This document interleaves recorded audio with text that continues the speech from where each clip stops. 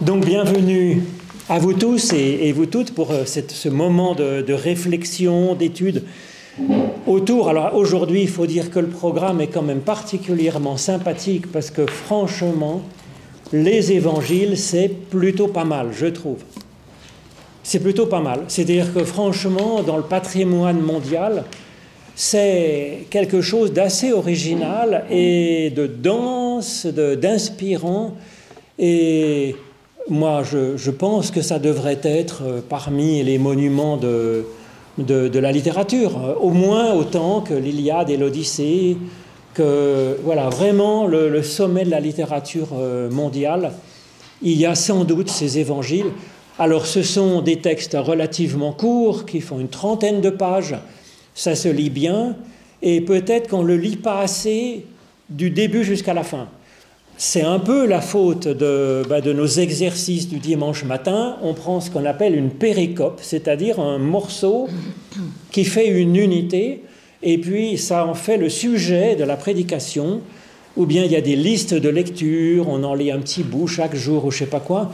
Mais c'est vrai que si vous avez une fois le temps, par exemple un trajet en avion, un trajet euh, même pour aller, je pense, de de, Genève dans les Grisons, vous avez largement le temps de lire un ou deux évangiles, en fait, du début jusqu'à la fin, comme ça, comme un récit. Et c'est vraiment, euh, c'est touchant, il y a un souffle, il y a une personnalité, alors c'est particulier. Alors ça date de quand? J'ai d'abord une petite introduction que je vous propose. Ça date de quand ces textes? Du vivant d'un rabbi itinérant, dans cette époque-là, dans cette culture, il y en avait pas mal les personnes prenaient des notes, des notes sur des bouts de poterie en gravant avec un clou ou quelque chose comme ça. Et donc, du coup, bah, ça marque le, pot cassé, ou bien c'était des fois sur un bout d'omoplate de, mouton, de chameau, je ne sais pas quoi, et on prenait quelques notes comme ça à la volée, ou un bout de cuir. Euh, on prenait des notes à la volée de ce que disait le rabbi. Donc il y avait sans doute dès le début des recueils de paroles de Jésus, et puis des petits recueils avec des souvenirs, des anecdotes de ce qu'il a fait, de ce qu'il a. Et puis, au début, c'était comme ça. Et les chrétiens ne pensaient pas euh, s'installer dans les millénaires. Ils pensaient que voilà, Jésus est le Messie, donc c'est la fin des temps, ça va venir, alors ils attendent et puis ils se réjouissent de ce qu'ils ont pu apprendre, connaître. Mais à la mort des, vraiment des témoins, des, des gens qui avaient vécu avec Jésus, ils se disent mince, mais il va falloir s'installer pour les générations suivantes. Et donc il va falloir euh, recueillir ce témoignage et le transmettre aux générations suivantes. Alors ces recueils de paroles de Jésus, ces recueils d'anecdotes sur Jésus, de faits de Jésus, ils avaient été un peu copiés, ça avait été un peu distribué. Et bonsoir les ricots.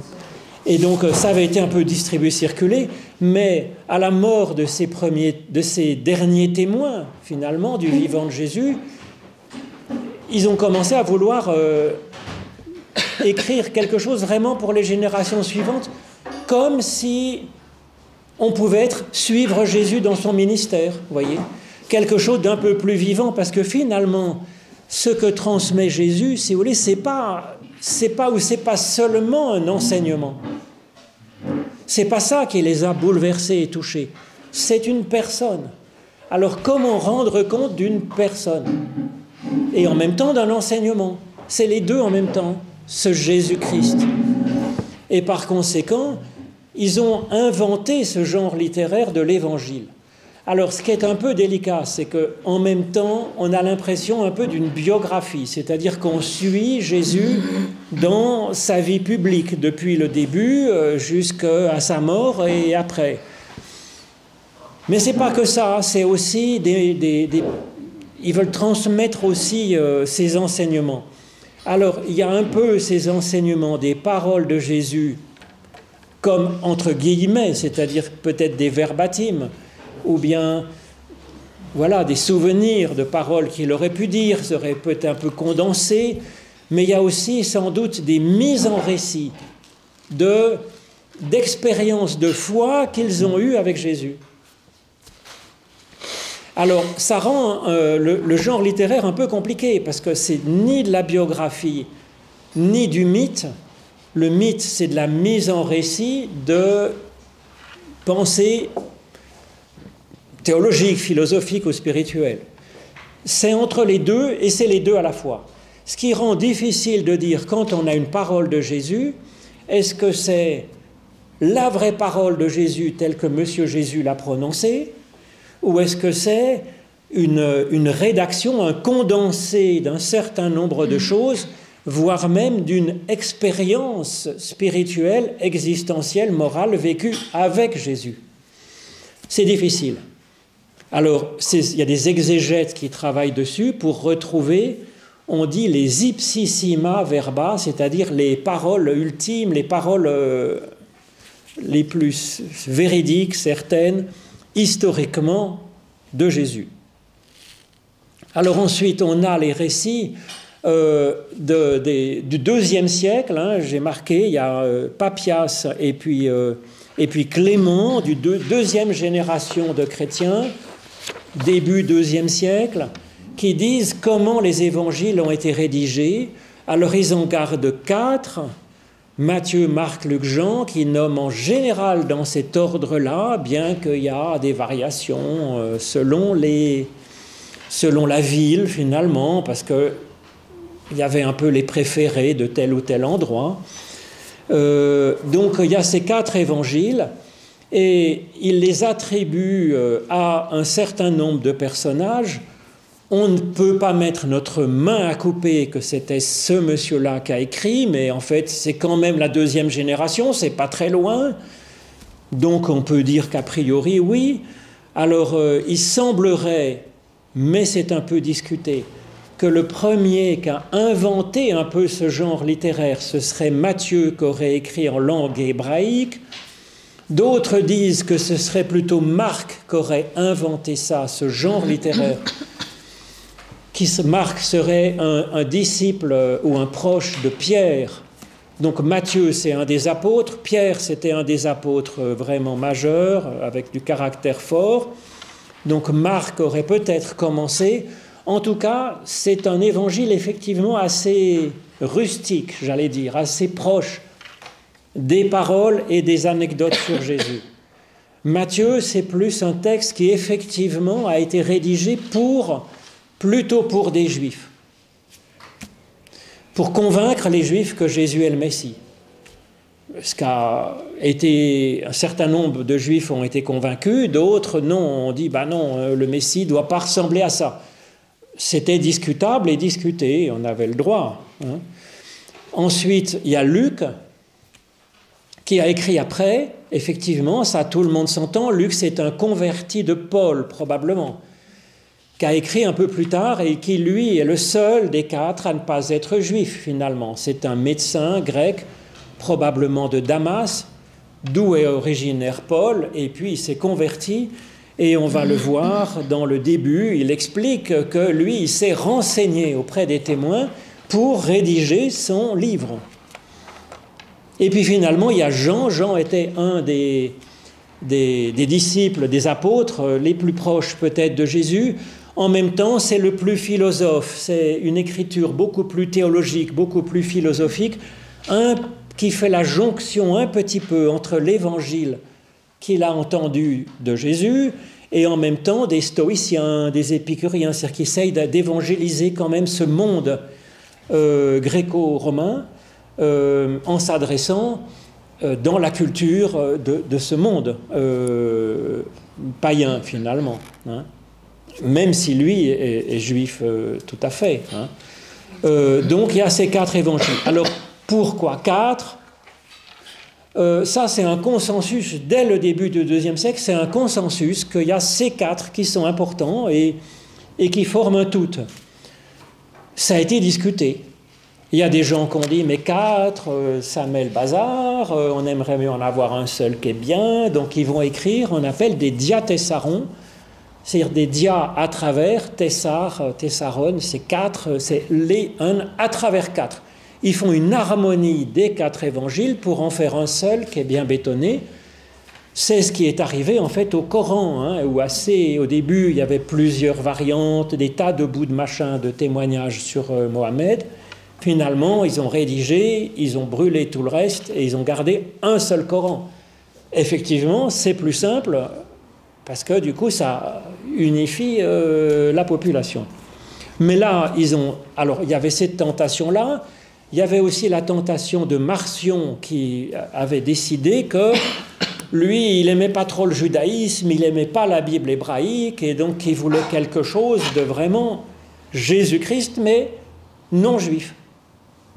Alors ça a vite été écarté, il a vite été euh, mis au banc euh, du courant chrétien majoritaire, et donc il a vite été euh, écarté. Hein. alors lui, il gardait que l'évangile selon Luc, évidemment, avec un auteur non juif, et puis en enlevant un peu des trucs qui lui plaisent pas, et puis il enlevait la Bible hébraïque, et puis voilà. Il gardait quelques lettres de Paul aussi qui lui plaisaient, c'était bien comme ça. Alors finalement, on a une sacrée chance d'avoir gardé les quatre. Et que, euh, comme le dit on pense très bien Saint Augustin, hein, c'est que les quatre ont de l'importance parce que ça apporte de la nuance et que la vérité, elle a besoin justement de ce pluralisme, de cette diversité, parce que voilà, le Christ est toujours au-delà de ce qu'on peut en dire avec un seul point de vue finalement. Et donc c'est extraordinairement libérant. Alors ça, pour euh, l'Église chrétienne, à mon avis, c'est une chance extraordinaire. Normalement, ça devrait être un vaccin contre l'intégrisme, contre l'intolérance entre les différents courants religieux, entre les différentes sensibilités, parce que on est de, dès les origines dans une pluralité. Et donc, euh, qu'il y ait une pluralité de sensibilité dans la foi chrétienne, c'est pas du tout déchirer la tunique sans couture du Christ comme on peut le lire dans certains écrits. Au contraire, ce qui divise les chrétiens, c'est la haine, c'est le refus de la diversité, et c'est le refus qu'il faille passer à travers des témoignages différents pour chercher l'unique Christ. Ça, à mon avis, c'est fondamental. Alors, ça commence bien aussi par les titres. Hein. Les titres, ils ne s'appellent pas Matthieu, Marc, Luc, Jean. Ils s'appellent en fait Évangile selon Matthieu, l'évangile de Jésus-Christ, avec un grand E majuscule. par oral, ça s'entend pas bien, en fait, mais il y a un grand E majuscule, évangile du Christ, selon Matthieu, selon euh, Luc, selon Marc, selon Jean. Mais ça change tout, vous voyez, on a l'évangile, on en a des regards croisés, mais un seul évangile, c'est écrit par Monsieur Matthieu. C'est pas écrit par Jésus, voyez. Et ça, ça change tout. C'est-à-dire que la parole de Jésus, elle doit être interprétée. Euh, et ça, je crois que c'est fondamental. Alors, euh, dès l'origine, hein, le, selon fait partie du titre. D'ailleurs, on le voit sur ce petit morceau de souvenir que j'ai mis en bas de la première page. Hein. Papyrus Bodmer, juste à côté, à un kilomètre, peut-être même pas extraordinaire manuscrit, donc qui date du deuxième siècle, hein. euh, fin du deuxième siècle, l'an 200, quelque chose comme ça, à peu près. Euh, incroyable, parce qu'un papyrus, vous voyez, c'est un bout de feuille, quoi. C'est d'une fragilité extrême. Ça a 2000 ans, on a retrouvé ça, et, puis on en a euh, une trace, et donc ça commence, si vous pouvez lire, mais il y a marqué au début Evangelion, Evangelion, Kata Johannes c'est le début de l'évangile selon Jean. Et euh, dans ce papyrus Bodmer, euh, c'est un des plus anciens, en fait, euh, manuscrits que l'on ait gardé, conservé de, des évangiles. Alors, ce qui est extraordinaire, c'est que c'est moins de 100 ans après la naissance, c'est non, après, après, oui, non, c'est 150 ans, 150 ans, 170 ans peut-être après la mort de Jésus, c'est quand même extraordinairement proche, si vous voulez. C'est comme, euh, c'est comme des écrits. Euh, euh, Oui, c'est ça. Pour nous, ce serait quoi comme 1850, vous voyez Quand même, on a le souvenir de 1850. C'est, pas beaucoup de générations, si vous voulez. Hein. C'est, moi, mon grand-père, il était né en 1889, je crois, ou quelque chose comme ça. Euh, vous voyez, c'est presque ça. Quoi, vous voyez, c'est. Euh, oui. Donc, vous voyez, c'est, on y est presque. Hein. et donc, c'est voilà. Alors derrière, je vous ai mis quelques petits versets, mais qui me seront utiles pour Marc, c'est autre chose, ou pour les autres. Euh, j'ai mis un peu une photo aussi d'un manuscrit illuminé. D'ailleurs, en ce moment, euh, justement, la Fondation Bonne elle présente hein, des, Bibles euh, comme ça, historiées. c'est absolument magnifique. Hein. il faut que j'aille voir ça, j'ai pas vu encore. Alors j'ai mis donc les quatre débuts d'évangile dans ce texte. Euh, j'ai mis en gros les 20 premiers versets, vous voyez, de chacun. Pourquoi? Parce que j'ai l'impression, si vous voulez, que dans le début, on nous dit un peu déjà quelque chose, voyez, de, Jésus. Hein. Et puis on voit qu'en même temps, il y a du commun entre ces quatre évangiles, et en même temps, il y a une diversité. Alors j'ai mis dans une vignette en haut de chaque évangile le dessin traditionnel qui est associé à cet évangéliste. Vous les reconnaîtrez partout dans le monde, dans les cathédrales, les églises, les tableaux, les sculptures, les tympans des cathédrales, partout. Alors ça, ça remonte. C'est peut-être pour ça qu'il y a quatre évangiles aussi, et pas cinq, parce qu'ils auraient pu en prendre un cinquième par-dessus le marché, ça aurait été tant mieux. Mais c'est qu'il y avait cette... Euh, il y a ce symbolisme du chiffre 4 qu'on retrouve en particulier dans Ézéchiel, je l'aborde dans la première page, avec le tétramorphe. Donc il y a une vision des êtres vivants, dans une vision fantastique d'Ézéchiel, et l'être vivant, il a quatre faces, quatre visages tétramorphes, hein, et il rassemble les membres finalement de ces quatre euh, animaux, hein, que sont l'homme, le lion, le taureau et l'aigle. Alors, ils se sont dit quatre. Pourquoi quatre? Euh, ben, C'est que quatre, c'est les quatre points cardinaux, c'est l'humanité entière. Et donc, quatre évangiles, c'est comme l'humanité entière témoin de ce seul, de cet unique Fils, Jésus, qui nous révèle le Dieu unique. Mais il faut les quatre. C'est un tétramorphe. Voilà. Et donc, ils ont cherché, un peu hésité, comment attribuer les quatre animaux aux quatre évangiles. Ça a un peu varié. Mais finalement, ils ont gardé les débuts des évangiles. L'évangile selon Matthieu, il commence par une généalogie. Donc, ils ont attribué l'homme à Matthieu. Marc, ça commence une voix crie dans le désert. Alors, ils ont mis le lion. Hein, le lion de Saint-Marc. Luc, ça commence avec Zacharie qui est dans le temple de Jérusalem pour un sacrifice. Donc euh, le temple, le temple, c'est le sacrifice des taureaux, des bœufs, dans le temple de Jérusalem. Et puis Jean, c'est l'aigle, parce qu'il commence par une vision tellement élevée qu'il a une vision d'aigle sur, euh, tout ça. Voilà, donc c'est les quatre euh, évangélistes, Matthieu, Marc, Luc, Jean, avec ces quatre. Alors vous voyez, dans la photo du Christ en gloire, là, dans le, hein, dans le manuscrit du XVe siècle, c'est là que j'ai pris ces quatre figures dans les coins, avec l'unique Christ au milieu. Et puis peut-être le monsieur qui a payé la Bible, il est représenté en bas au milieu. C'est souvent le donateur, hein, le bienfaiteur qui est représenté. Il est mis à l'honneur quand même, bien placé là, lui, au milieu. Avec, euh, il est en train de lire aussi la Bible, je pense. Voilà. Oui? Non avec Zacharie. Alors, euh, c'est parce qu'en fait. C'est Ézéchiel, parce qu'en fait, il y a une vision fantastique. Une vision fantastique, j'ai marqué, c'est Ézéchiel euh, combien euh,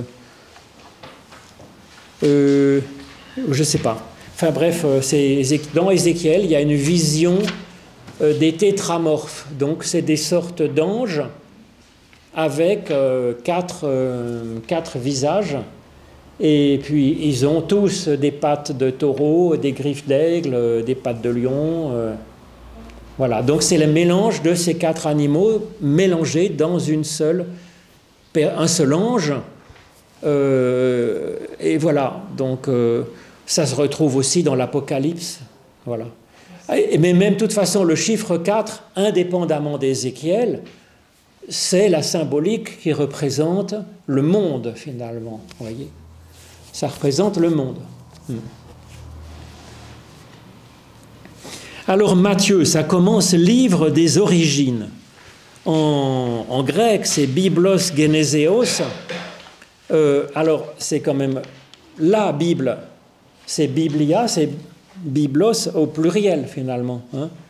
Euh, et là, si on le lit tel quel, ça fait livre de la Genèse en fait, parce que le, livre de la Genèse, c'est effectivement Genesis, euh, c'est les origines, hein, parce que la Bible, le livre de la Genèse, il commence par ces mots euh, dans un commencement, en arché. Mais du coup, comme ça commençait comme ça, dans un commencement de, du monde, hein, euh, par la création par Dieu, dans la traduction en, grec, qui date de moins 300, 300 avant Jésus-Christ, euh, ce livre ils l'ont appelé, au lieu de l'appeler Bereshit comme en hébreu, commencement, ils l'ont appelé Genesis, la Genèse. Donc la Biblos Geneseos, ça fait vraiment penser à une nouvelle Genèse. Hein. Ça fait vraiment penser euh, à une nouvelle création, une étape aussi décisive que la création de l'univers, qui commence donc hein, en Jésus-Christ.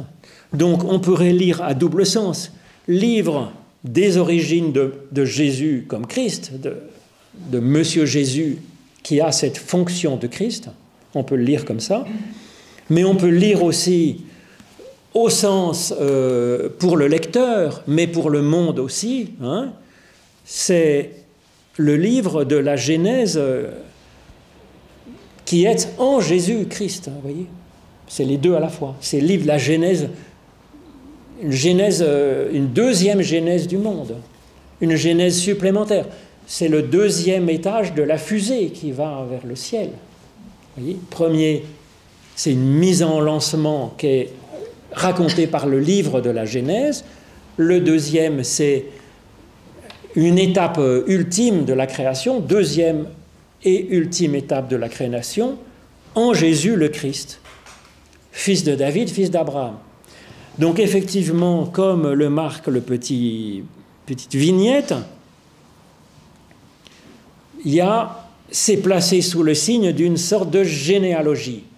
Là, la généalogie, elle est remontante. On parle de Jésus comme Christ. Hein. Euh, et puis les fils de David, fils d'Abraham, ça le place sous ces deux figures-là. Parce qu'en fait, littéralement, il n'est pas fils de David, fils d'Abraham.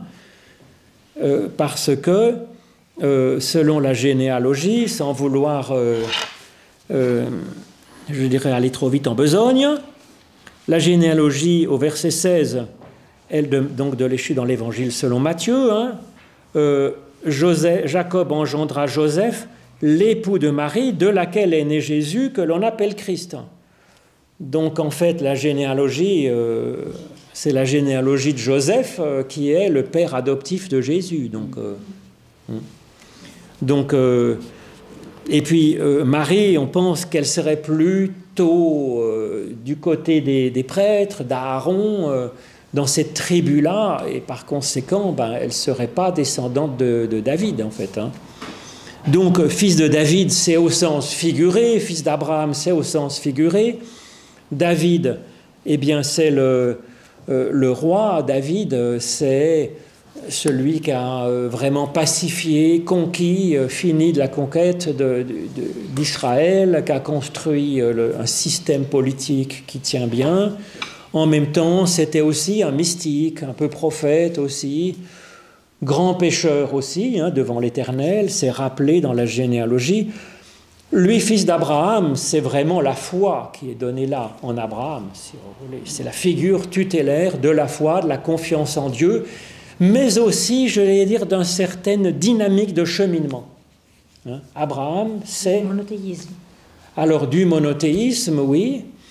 Euh, il y a des passages de, la Bible hébraïque qui ne sont pas monothéistes, si vous voulez, hein, qui sont plutôt énothéistes, c'est-à-dire que voilà, Dieu, le Dieu d'Israël, d'abord c'est notre Dieu à nous, on l'appelle euh, Yahvé ou Yahou, Yahweh, et en plus, c'est le plus fort, le plus grand, il préside l'assemblée des dieux, nous disent les psaumes par exemple.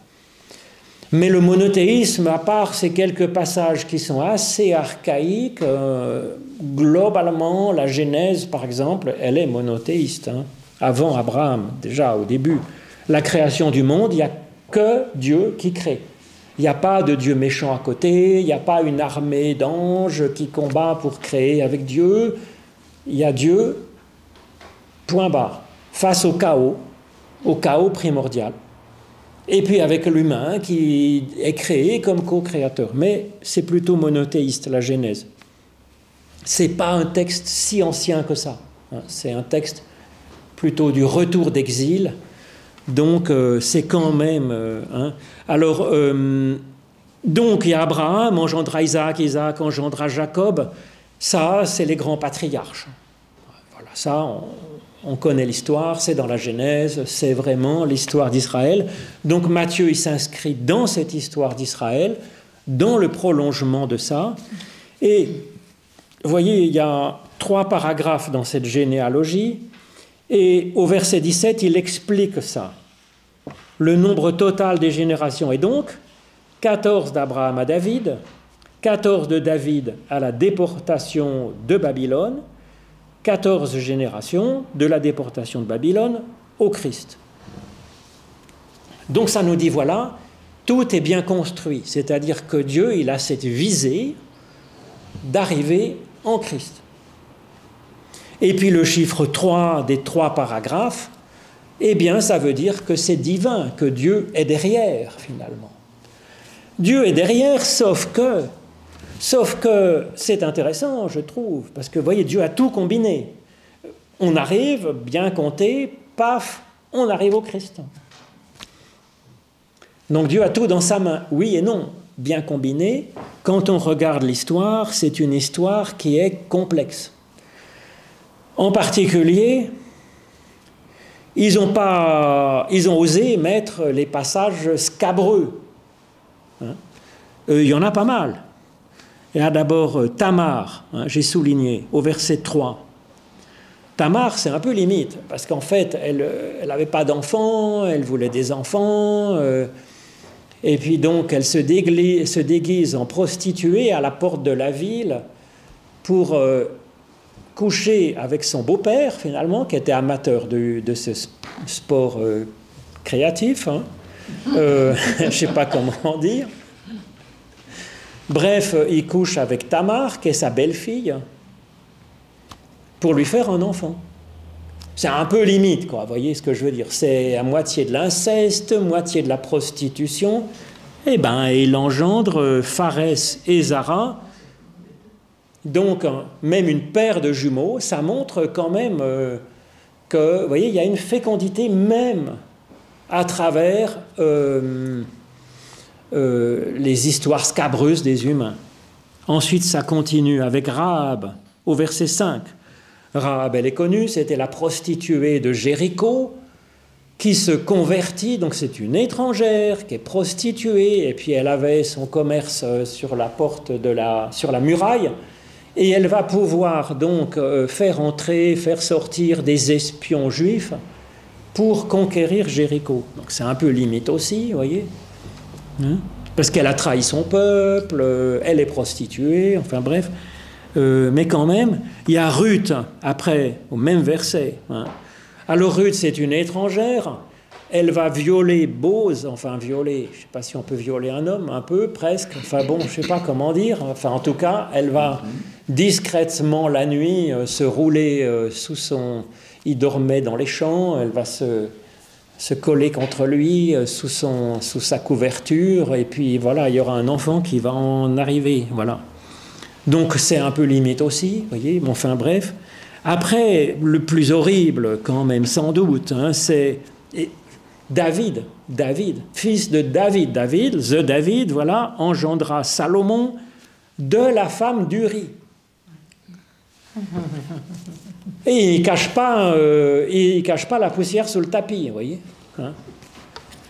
il dit pas David engendra Salomon de Bethsabée. Il aurait pu, discrètement. Non, de la femme d'Uri. Alors, euh, c'est vrai qu'on raconte que David, il, voit, il, était, il prenait le frais sur sa terrasse un soir d'été, et puis il voit euh, Bethsabée qui faisait sa toilette sur la terrasse en dessous. Quoi. Donc ça lui donne des idées, il se dit voyons voir, voyons voir. Alors euh, c'est le roi quand même. Hein. donc, donc il lui fait un enfant, voilà, puis il se dit mince, mais c'est un peu ennuyeux ça, cette affaire quand même. Comment je vais faire? Alors, euh, il fait revenir Uri, qui était donc un général de son armée. Il dit, ben, on va lui offrir une permission. Comme ça, il va coucher avec sa femme, et puis comme ça, bon, ça sera son enfant. Et puis non, mais lui, il dit, il faut que je garde ma force. Je suis en service, c'est pas parce que j'ai une petite permission. Il faut que je garde bien mes forces, et couche pas avec. Alors David dit, mince, mon plan a raté, comment je fais, comment je fais? Alors il envoie Uri en service commandé, en première ligne à, un contre 100 ennemis, aucune chance, il est trucidé, il dit voilà, c'est bon, maintenant, Bethsabée est ma femme. Donc, c'est plus que limite, vous voyez, c'est de l'adultère, c'est du meurtre, c'est du mensonge, c'est une horreur. C'est une horreur, et c'est ça qui nous a valu le fameux psaume 51 qu'on appelle le miserere, si vous voulez, c'est la lamentation, euh, la repentance de David après ces horribles choses. Là, on nous le dit. Voilà, c'est passé par ces horreurs indescriptibles, inexcusables, et néanmoins, eh bien, ça donne Salomon, et puis ça, et on arrive jusqu'au Messie. Alors, si vous voulez, dans les rois après, Salomon, hein, euh, Roboam, euh, Abia, etc., c'est tous des rois qui sont complètement nuls, euh, qui sont pas du tout, qui font le malheur de leur peuple, qui profitent, qui abusent, qui s'intéressent pas à Dieu, etc. Donc, il cache pas, si vous voulez, que Dieu, il essaye d'avancer son plan, mais qu'effectivement euh, l'histoire humaine est troublée, elle est faite de péchés, d'horreurs, mais que Dieu se débrouille, bon an, mal an, à faire avancer son plan de salut pour l'humanité. Alors c'est dit pour l'humanité, c'est dit aussi pour la vie de chacun de nous. On ne sera jamais trop pécheur, trop éloigné de Dieu, trop infidèle, trop ceci, pas assez cela, pour que ça empêche Dieu de vouloir faire advenir le salut dans notre être et dans notre humanité. C'est fait pour. C'est fait pour nous dire que voilà, le Christ, il vient comme sauveur, comme Christ, c'est ça que ça veut dire. Il vient pas comme sauveur d'un peuple qui est déjà formidable et parfait. Au contraire, il vient parce que l'humanité est quand même un petit peu problématique de temps en temps sur les bords et qu'il vient euh, travailler ça, si vous voulez, avec cette confiance que Dieu, il retombe sur ses pattes, à peu près, si vous voulez, à peu près. Alors autre chose qui est amusant, c'est qu'on dit qu'il y a 14 générations, 14 générations, 14 générations. On compte avec ses doigts, je vous en fais grâce, vous pouvez le compter vous-même, hein, en comptant les engendras. Hein. Eh bien, le premier paragraphe, il y en a 13. Le deuxième euh, paragraphe, il y en a 14, bon ça, ça va. Et le troisième paragraphe, il n'y en a que 13 aussi. Donc ça veut dire que, bon, c'est à peu près 3 fois 14, et puis bah, que c'est tombé comme ça. Voilà, c'est pas tout à fait 14, bah, Dieu il a fait comme a pu, il a pu, mais ça va quand même. c'est pas rigolo? Ils sont, parce que Monsieur Mathieu qui rédige le truc, c'est pas compliqué de rajouter un roi ou deux de plus dans le trajet, si vous voulez. D'autant plus que quand on compare aux généalogies qui sont dans les livres des chroniques ou de je sais pas quoi, il a oublié des rois, il en a enlevé, etc., un peu à gauche, un peu à droite. Il aurait facilement pu en ajouter. Et, euh, dans le dernier paragraphe, au début, on connaît un peu mais ensuite, à la fin, hein, euh, on ne connaît pas, en fait. C'est en dehors, si vous voulez, de, la Bible hébraïque, on ne connaît pas cette généalogie euh, nulle part ailleurs. Donc, il aurait pu faire 14 facilement. Non. Il a fait exprès qu'il y en ait 13. Non, mais je remarque que 2 fois 13 plus 14, ça fait 40. C'est aussi un nombre. Euh, Alors, effectivement, ça fait un nombre 40, ça fait un nombre rond. Oui. Et ça évoque quoi, 40 La gestation. Durée. La gestation, bravo. Parce qu'il paraît, que la, il paraît que la gestation humaine, c'est 40 semaines d'aménorrhée. Il paraît. Et donc le chiffre 40, ça veut dire c'est le temps d'une gestation, d'une humanité nouvelle finalement. Voyez. Depuis Abraham, qui est un peu comme la Genèse, jusqu'au Christ, et eh ben, il y a euh, la Genèse de quelqu'un qui incarne euh, la source de foi. Voilà. Et en même temps, le 3 fois 14... 40 jours. 40 jours, 40 années, c'est du 40, c'est égal, vous voyez 40 générations, c'est du 40. Ce serait 40 heures, ce serait la même chose. C'est le temps euh, d'une euh, genèse, d'une nouvelle humanité ou d'une nouvelle personne. C'est pour ça que certains ont choisi de faire 40 jours de carême. Moi, c'est pas du tout mon genre, si vous voulez, parce que je ne crois pas que ça fasse plaisir euh, à personne qu'on se prive de bonne nourriture. La nourriture fait partie des bénédictions de Dieu, euh, et donc quand c'est mangé dans la louange, quand c'est mangé en plus dans le partage avec d'autres, c'est une excellente et bonne chose. Et donc uniquement pour ce chiffre symbolique de 40, il y a des personnes qui se privent de manger simplement pendant 40 jours. Bon, écoutez, chacun son truc. Je, personnellement, je le leur laisse. Enfin bref, 3 fois 14, 3, je vous l'ai déjà dit, c'est un peu divin, hein, c'est Dieu. 14, 2, 2, c'est la parole, qui est comme une épée à double tranchant. Et 7, c'est la bénédiction, la création bénie, hein, le septième jour de la création. À l'aube du septième jour, Dieu bénit sa création, qui est créée matériellement en six jours. Donc, vous voyez, c'est du Dieu c'est de la parole et c'est de la bénédiction dit à travers ce 3 fois 14. Et ça, ben, c'est aussi une, équation de Jésus-Christ. Hmm. Alors ensuite, cette génération engendra, engendra, engendra, ben, ça déraille à la fin, puisque engendré, si vous voulez, hein, de laquelle est né, de laquelle est engendré, il y a un passif qui apparaît, euh, et ça veut dire ce passif, ça veut dire que Dieu est derrière cela. Euh, et effectivement, là, il y a une faille qui apparaît, une nouveauté qui apparaît, et c'est cela.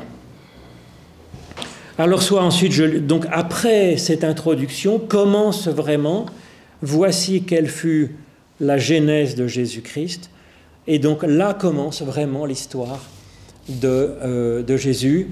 Euh, avec ce récit de Joseph qui va euh, adopter Marie comme femme, bien qu'elle soit enceinte sans qu'il y soit pour rien, et adopter Jésus comme enfant adoptif. Alors, c'est, à mon avis, mais si vous voulez, vous regarderez les prédications que j'ai données pour Noël, en fait, hein, le 24 et le 25 décembre. J'ai fait le parallèle entre ce récit de Matthieu et le prologue de Jean, qui disent un peu la même chose avec cette parole qui vient et qui fait de nous des enfants de Dieu finalement, hein. euh, pour que la parole se fasse chair, que la parole s'incarne dans nos existences. C'est en gros ce qui est dit effectivement dans Matthieu, ce qui est dit dans Luc d'une façon narrative, c'est dit par euh, Jean d'une façon théologico-poétique, finalement. Euh, c'est deux genres narratifs différents, deux, genres littéraires différents, un par la narration, l'autre par l'enseignement. Ça, c'est les deux phases très classiques hein, dans le monde grec entre le mythe et puis euh, le mythos et le logos, entre le, mythe, l'histoire, et, l'enseignement, euh, le logos.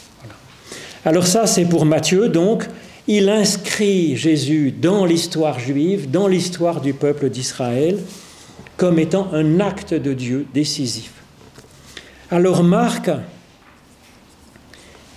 ça commence par comme ça, ça commence par ces mots. commencement de la bonne nouvelle de Jésus-Christ. Il a été rajouté fils de Dieu très tôt, mais il y a des manuscrits très anciens dans lesquels c'est pas, donc la version originale, c'était sans doute comme cela. Commencement de la bonne nouvelle de Jésus, comme Christ finalement. Hein. Commencement, c'est arché, c'est comme le début de la Genèse, enarché. Lui aussi, ça s'inscrit dans cette euh, nouvelle Genèse hein, d'une humanité nouvelle. La bonne nouvelle, c'est évangile, ça veut dire bonne nouvelle. Bon, c'est bon à noter aussi. Une bonne nouvelle, un évangile, c'était par exemple quand il y avait une naissance, quand il y avait une victoire, c'était comme c'était ça, un évangile. Hein. Donc là, la bonne nouvelle, là aussi c'est un peu à double entente, c'est la bonne nouvelle de Jésus-Christ. Jésus-Christ, il a donné un enseignement qui est une bonne nouvelle d'un Dieu qui aime, du salut de Dieu, de sa grâce, de tout ce qu'on veut. Mais dans un autre sens, on peut lire bonne nouvelle qu'est Jésus-Christ. La bonne nouvelle, c'est pas ceci ou cela, c'est pas une connaissance, c'est une personne. C'est que Jésus soit Christ. C'est ça la bonne nouvelle, finalement. Et à mon avis, c'est ça qui rassemble tous les chrétiens. C'est Jésus comme bonne nouvelle pour le monde. Donc Christ, c'est ça que ça veut dire. Et ça, c'est ce qui rassemble tous les chrétiens. Le reste, même si vous demandez comment est-ce qu'on peut résumer l'évangile de Jésus-Christ au sens de ce qu'a enseigné Jésus, pas simplement le bonhomme, mais ce qu'il a enseigné et dit, il n'y aura pas deux personnes pour dire la même chose. Vous voyez? Donc, euh, la preuve, il y a quatre évangiles hein, et un seul Jésus. Hmm. Le Christ lui-même n'a pas dit que je suis venu annoncer la bonne nouvelle ou je me trompe? Si, voilà, c'est ce qu'il dit. Mais il est, donc effectivement, son enseignement était évangile. Il l'annonce aussi par des gestes. Mais même l'évangile, c'est, c'est lui-même qui est évangile. C'est la personne. Hein. Mais c'est ce que dit Paul, par exemple, hein, à la fin de Romains 8. Rien ne nous séparera de l'amour de Dieu manifesté en Jésus-Christ. C'est pas simplement son enseignement qui dit que Dieu est amour, c'est Jésus-Christ par sa vie, par son enseignement, par sa façon d'être, par sa façon d'aller s'occuper des corps, des personnes, des pécheurs, des, des trop religieux, des pas assez religieux, par sa mort aussi sur la croix. Hein. C'est ce qu'explique Paul pour parler de la mort sur la croix. Il dit, Déjà, moi, ça m'amuserait moyennement de mourir pour des justes, hein, des gens que j'aime. Mais là, Jésus, il est venu mourir pour des pécheurs, des gens peu sympathiques. Ah ben, il dit, ben ça, chapeau. Et ça, ça montre vraiment l'amour. Donc c'est comme ça qu'il explique en quoi est-ce que la croix est bonne nouvelle pour nous. Ça révèle l'amour de Dieu. Donc il y a ses paroles, ce qu'il a prononcé avec sa bouche, Jésus, ses, ses paroles, il y a ses actes, mais il y a aussi sa personne en elle-même. Alors selon ce qui est écrit dans le prophète Ésaïe, voici, alors je l'ai rajouté le voici, il l'avait pas mis dans la traduction, je vous en ai déjà parlé les autres fois, quand il y a un voici, c'est un acte de création de Dieu décisif qui apporte dans la chaîne de causalité normale, ça injecte une nouveauté pour apporter un salut en changeant le cours de l'histoire, en apportant une inflexion, comme on vient de le voir dans Matthieu. Donc ce voici, c'est dommage de l'avoir enlevé. Voici, j'envoie, c'est Dieu qui parle, j'envoie devant toi mon messager pour frayer ton chemin. C'est celui qui crie dans le désert, préparez le chemin du Seigneur, rendez droit ses sentiers. Survint Jean, qui baptisait dans le désert, et là, il commence le récit finalement. Mais voyez, il s'inscrit lui aussi dans la suite de, de la Genèse avec Arché. Il s'inscrit dans la suite des grands prophètes comme Ésaïe. Mais comment il s'inscrit? C'est pour ça que je vous ai mis et, les petits passages qui sont à côté de la Bible, euh, de, la grande, euh, miniature euh, de la Bible, là, hein, des beaux-arts. Euh, en fait, il dit comme le dit Ésaïe, il y a marqué. c'est un petit peu plus compliqué que ça parce qu'en fait, ils mélangent, ils tissent ensemble une parole qui est dans le prophète Malachi 3.1 et une parole dans le prophète Ésaïe 43. Ils les mélangent ensemble et ça va donner ça, regardez. L'Éternel dit, Voici, j'enverrai mon messager, il préparera le chemin devant moi. Ben, là, vous voyez, il n'y a pas marqué ça en fait. Hein. Il a un peu changé. J'envoie devant toi mon messager, Bon, ça encore, ça va à peu près. Pour frayer ton chemin. C'est pas mon chemin, le chemin de l'éternel. Hein C'est préparer notre chemin à nous. Donc, euh, ça veut dire que déjà à travers cette relecture d'Ésaïe, il dit euh. Euh, c'est une prophétie de Malachi et d'Ésaïe. Vous voyez, prophétie d'Ésaïe, c'est une voix crie préparée au désert le chemin de l'Éternel, aplanissez dans les lieux arides une route pour notre Dieu. Donc il faut préparer une route pour Dieu dans ce monde. Il dit, mais maintenant c'est fait. Quelques siècles plus tard, on en arrive à Jésus-Christ. Donc Dieu est venu voyez la, la, prophétie de Malachi et d'Ésaïe, qu'il a mélangée, il dit Elle est maintenant accomplie, Dieu est parmi nous, et c'est plutôt notre chemin à nous, notre chemin de conversion à nous qu'il faut préparer maintenant. Donc vous voyez, ça montre comment il relie euh, l'Ancien Testament d'une façon créative, mélangeant les versets euh, de différentes époques, de différents prophètes, et puis l'adaptant à la circonstance particulière, disant que finalement les, les prophéties des prophètes sont accomplies en Jésus-Christ et que maintenant c'est plutôt faire place à l'accomplissement de cette promesse dans nos existences à nous qui est en jeu. Et effectivement, ils annoncent un changement, changer radicalement et croyez à la bonne nouvelle, verset 15 par exemple. Hein. Et puis, il va former euh, des, hommes euh, et des femmes euh, pour participer avec lui à, à, ce changement du monde. mais les prophéties sont déjà accomplies en Jésus-Christ et en même temps tout reste à faire. C'est ce qu'est dit finalement dans cette prophétie, cette façon de lire les prophéties. Des remarques là-dessus Vous avez des questions ou ça va à peu près? Moi, je trouve que les pêcheurs ne sont pas des méchants. Les pêcheurs ne sont pas, sont pas des méchants. Pas toujours des méchants. ça peut être de la méchanceté en nous. C'est hein. C'est pas une totalité. Comment on dit en allemand la, joie mauvaise, non? Schadenfreude. Schadenfreude, voilà. Et eh bien ça, c'est quand même... Euh, c'est quand même une vraie une vraie joie d'être méchant, si vous voulez. C'est, il y a une jouissance hein, dans la méchanceté.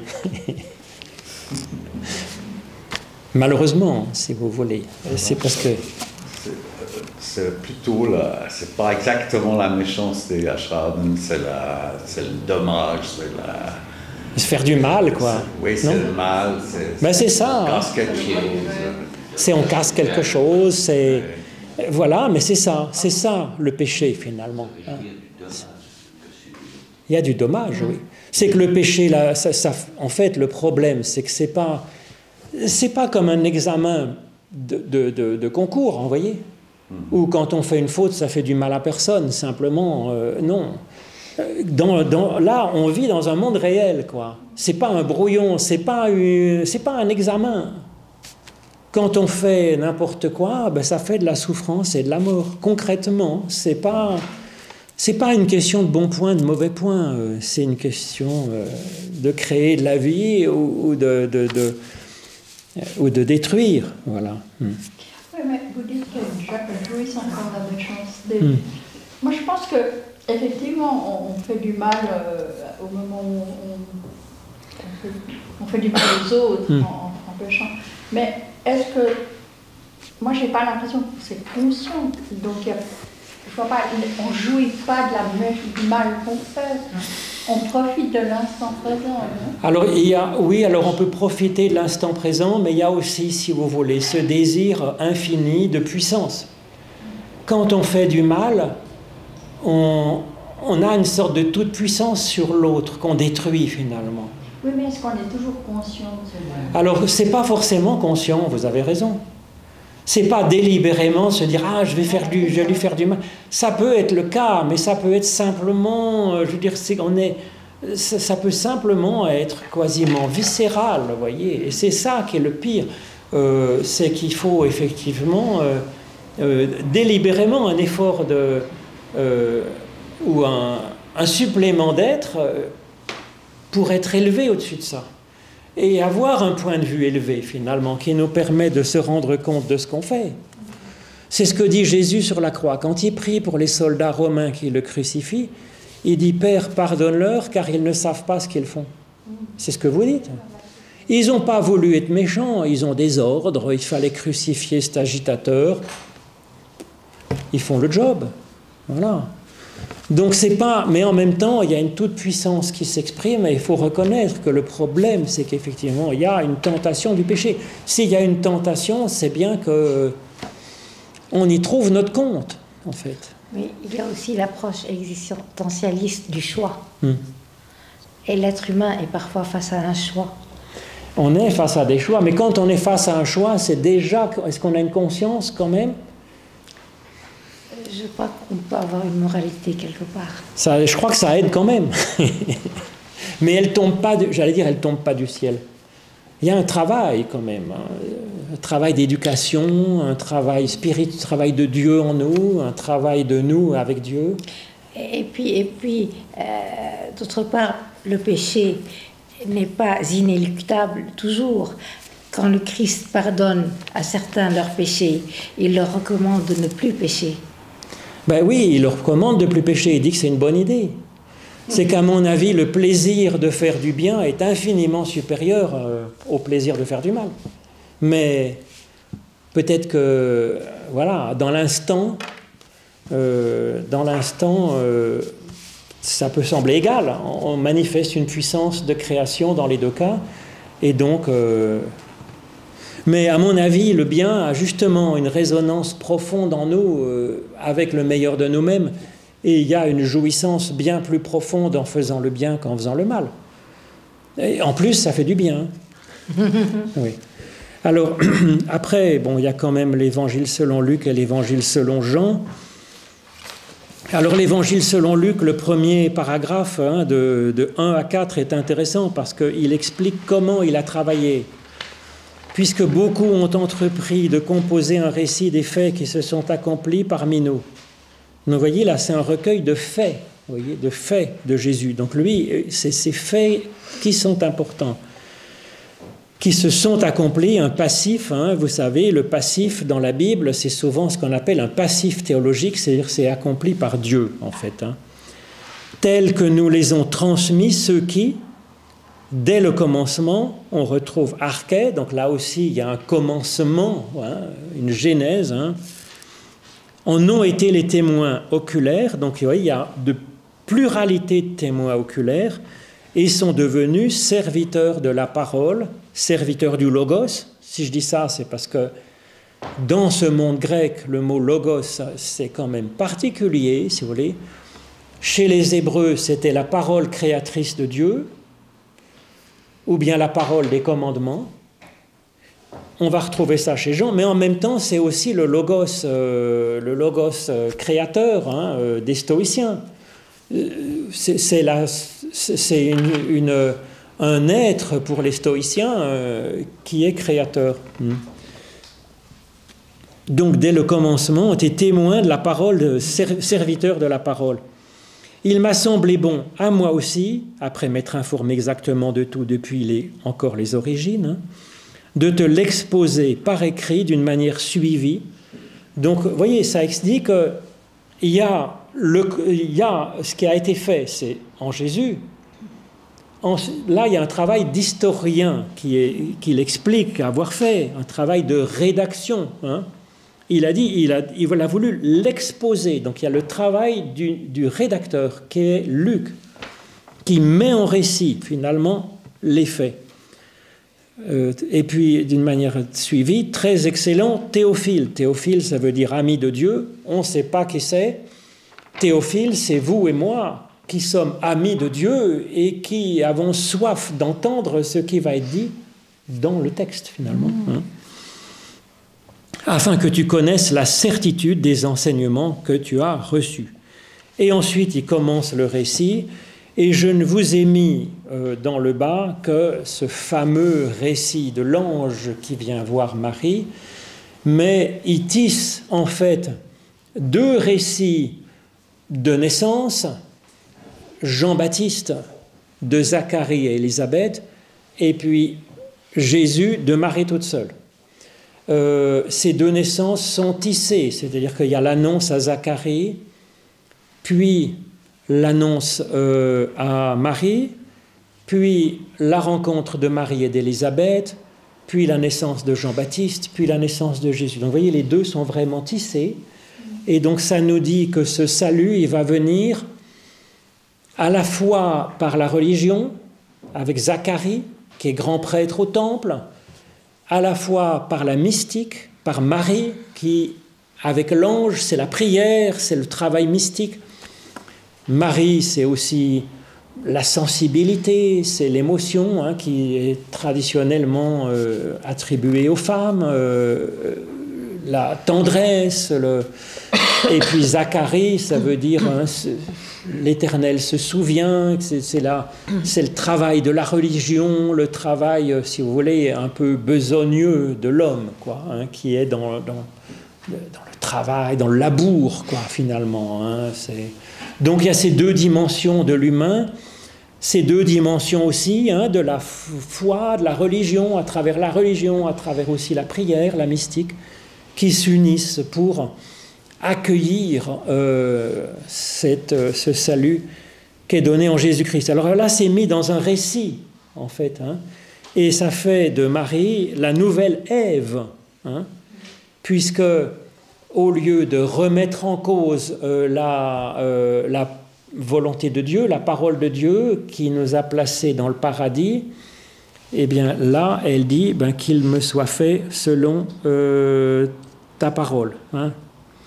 Euh, je suis la servante du Seigneur, l'esclave, là c'est un peu brutal, je suis la servante du Seigneur, qu'il m'advienne selon ta parole. Et l'ange s'éloigna d'elle, donc on quitte l'expérience mystique pour revenir dans le monde, mais ça fait de Marie une nouvelle Ève, finalement, qui va accoucher d'un nouvel Adam. Mais c'est dit pour Marie, mais c'est dit pour chacun de nous, bien entendu. Marie est là la figure de l'humain, en fait. Hein bien entendu, euh, même si Jésus a évidemment eu une mère qui s'appelait sans doute Marie par ailleurs. Hein, euh, mais alors ce que dit Luc ici, c'est ce que dit Jean à travers euh, ce langage extraordinairement poétique et philosophique. Lui aussi, il parle au commencement, en arché, toujours le même arché, hein, qui est le commencement du livre de la Genèse en fait, était la parole. La parole était auprès de Dieu, la parole était Dieu, elle était au commencement auprès de Dieu, alors, ou à côté de Dieu, ou alors à Dieu, ça pourrait se traduire, on ne sait pas très bien. Tout est venu à l'existence par elle et rien n'est venu à l'existence sans elle. Alors cette parole lumière, c'est intéressant hein, de dire que Dieu y crée comme ça, parce que la, la création par la parole, c'est une création, vous voyez, sans toute puissance, en fait. Parce que quand on, avec la parole, une parole, elle peut être reçue, pas reçue, entendue, pas entendue, elle peut être comprise, pas comprise, elle peut être négociée, j'en prends la moitié, je suis d'accord avec ça, pas d'accord avec le reste.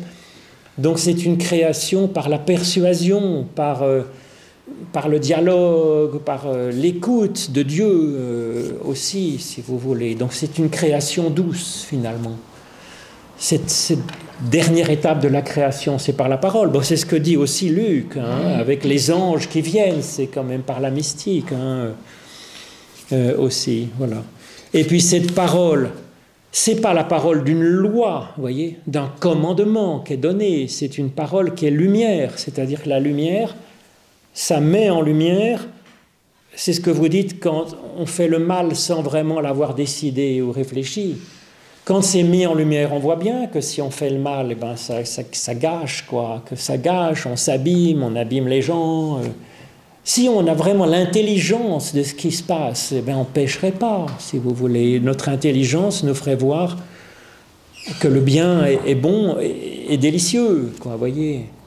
Donc, vous voyez, ce n'est pas une loi, c'est une mise en lumière, c'est un acte de création qui appelle à être. C'est ça qui est dit finalement dans ce texte, qui est extraordinairement bien euh, rédigé, euh, qui est, euh, je dirais, un des sommets de, de, l'écriture, hein, objectivement. Après, on est d'accord, pas d'accord avec ce que raconte ce texte, c'est tout à fait autre chose. Hein. Voilà, voilà. Alors je ne veux pas être beaucoup plus long parce que c'est un simple aperçu, c'est un apéritif pour vous donner envie de lire ces quatre évangiles. Si vous en avez jamais lu, je vous recommanderais de lire par exemple Matthieu et Jean. Les trois premiers, Matthieu, Marc, Luc, ils sont assez proches. On les appelle pour ça les synoptiques. Jean est beaucoup plus différent, donc faudrait lire un des synoptiques. Matthieu et Jean, ou bien Luc et Jean, ou je ne sais pas. Ou bien si vous êtes moins, moins, un peu plus pressé, vous lisez Marc et Jean, parce que Marc c'est le plus court. Hein. Mais euh, après, ça dépend des goûts. Hein. Il y a des gens qui préfèrent euh, certains évangiles et d'autres d'autres. Voilà, est-ce qu'il y a quelques petites remarques euh, avant de nous séparer? Mais sinon. Euh... Oui, ça va. On, on allez-y, parce que. Parce qu'à euh, part ça, il y a tous les. Comment, de ce qu'on appelle les évangiles qui ne sont pas canoniques. Vous avez raison, il y a des évangiles non canoniques. Alors il y en a un qui, a été retrouvé, qui est, quand même le plus touchant peut-être, c'est l'évangile selon Thomas, qui a été trouvé au début du XXe siècle, fin du XIXe, en petite partie en Égypte. Et puis après, on a trouvé à Nagamadi, toujours en Égypte, un, un, complet de Thomas. Alors Thomas, c'est pas mal du tout, parce que ça, semble, ça ressemble au recueil de paroles de Jésus qui était donc très primitive avant la rédaction des évangiles. C'est des, anecdotes et des paroles comme ça qui sont à la queue leu enfêlées comme des perles. Le problème, c'est qu'il y a des paroles qui semblent vraiment dans leur jus de l'origine, et c'est mélangé avec un peu de la philosophie gnostique, c'est-à-dire c'est un peu de l'ésotérisme, de la philosophie ésotérique euh, égyptienne, euh, du premier siècle. Donc c'est moins pur que nos quatre évangiles. Il y a du super et puis il y a du moins bon qui sont mélangés dedans. On aimerait retrouver hein, ce recueil de Logia de Jésus qui ont servi à la rédaction de nos quatre évangiles. Il y a des sources qui existaient, qui circulaient. C'est pas perdu encore, on peut encore en retrouver. Sauf que pour ça, il faut des périodes de paix dans ces pays qui sont très troublés. Et, donc, il euh, faudrait qu'il y ait un peu de paix là-bas et qu'on puisse fouiller. Et puis, euh, il y a des hasards. Hein. Les, manuscrits de Qumran, ils ont été retrouvés parce qu'un berger euh, a retrouvé ces jarres dans le fond d'une grotte, dans des falaises incroyables. C'était impossible à trouver. Et donc, on a retrouvé ces incroyables manuscrits qui ont 2000 ans. Mais cela dit, Nagamadi, c'était c'est par hasard aussi, c'est dans des fouilles ou dans des... Oui. Hmm. On peut retrouver, avec un peu de chance. Mais même si on retrouvait un évangile, alors il y a l'évangile selon Marie, qui est intéressant aussi, j'aime bien, c'est selon Marie-Madeleine en fait. Ah oui Oui. Alors ça, vous pouvez les trouver, ils ne sont pas du tout cachés les autres. Simplement, ces quatre-là, ils ont été mis dans le best-of en fait. Hein les autres ne sont pas interdits, ils ne sont pas, contrairement à ce qu'on dit, cachés dans une cave du Vatican avec des choses qui gêneraient tout le monde, pas du tout. On les, a, mais ils ont été moins copiés, donc euh, ils sont, plus difficiles à trouver. Il y a des trous, il y a des, fois on a un seul manuscrit, ou on a un manuscrit traduit en, arabe du IIIe siècle. Ce qui pourrait compléter certains éléments.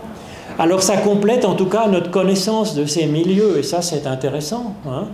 Alors euh, ça, vous les avez dans la Pléiade, par exemple, ils ont publié hein, les, évangiles euh, comme ça, euh, apocryphes, ils sont dans la Pléiade, il y a deux gros livres de la Pléiade pour les premiers écrits chrétiens, c'est intéressant.